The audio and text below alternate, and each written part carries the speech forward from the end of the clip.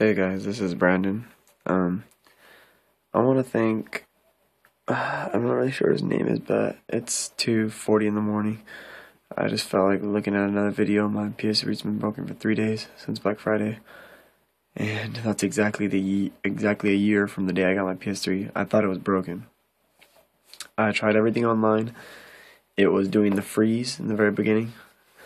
It would go to 20 really fast and no 21 really fast then it would just freeze.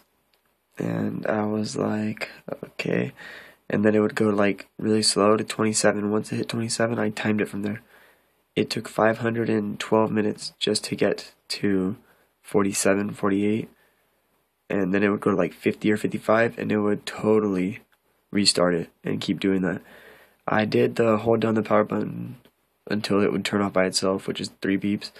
And then I did the second one where you keep doing it I don't know, you cook it again. You hold it until the second, until the double beep, and once the double beep happens, you let go, and you select the third one. I tried it, it just kept saying please wait and froze there. So I tried a new thing. I just felt like I was about to go to sleep. I was like, you know what, I just want to try one more time before I try getting this fixed, pay money.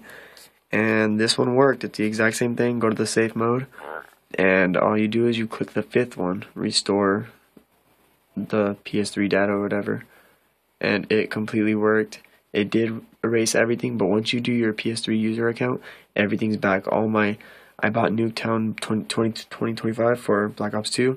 It came back with it. My PS3 store has all my downloads. Everything's the same. My PS3 is just way better, I think, without all the other stuff. I had like four more accounts. I'm happy they deleted. You just have to remember your stuff. And I just want to thank you. It worked, and now I'm downloading Black Ops 2 again. You do have to download the game again, though. But yeah, you're still on the same level, everything. Thanks.